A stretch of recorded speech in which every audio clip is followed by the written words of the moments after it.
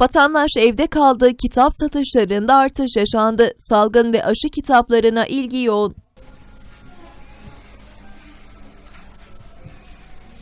Koronavirüs tedbirleri kapsamında evde kalan vatandaş zamanını kitap okuyarak değerlendiriyor. Hal böyle olunca kitap satışlarında da gözle görülür artış yaşandı.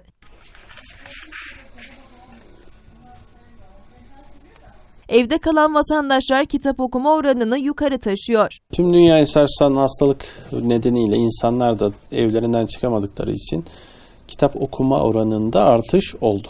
Öncelikle hiç kitap okumayan belirli bir kesim kitap okumaya başladı. Zaten okuyanlar da yıllardır belki vakit bulamadığı için kenara attıkları kitapları okumaya başladılar. Kitap almaya gelemeyen gençlerin kitaplarını aileleri temin ediyor.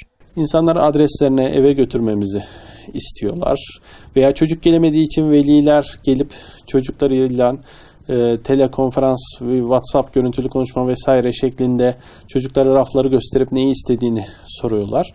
E, ve e, normalde Kütahya dışı, Kütahyalı olup da Kütahya dışında yaşayan okurlarımız, büyük şehirlerde kitapçı gezmeye alışmış e, okurlar, Kütahya'da da kitap bulunabildiğine sevinip rafları satır satır araştırıyorlar. Ramazan ayında sayılı günler kala manevi kitaplar revaçta. Aslında popüler kitaplarda e, şu anda Ramazan'a da girmek üzere olduğumuz için biraz daha manevi kitaplar okunuyor genelde. E, ruhsal gelişim dediğimiz psikoloji kitapları okunuyor. Biraz e, derinliği olmayan romanlar, duygusal romanlar, tarihi romanlar özellikle vakit geçirme aracı olması açısından daha çok talep görüyor. Veba ve aşı tarihi gibi kitaplarda çok satanlar arasında yer alıyor. Özellikle tarih kitaplarında e, artış var. Özellikle vebanın tarihi üzerine sağlık kitapları da e, artış var. İnsanlar tabii ki bu salgın ne zaman yaşandı tarihte? Daha önce ne koşullarda insanlar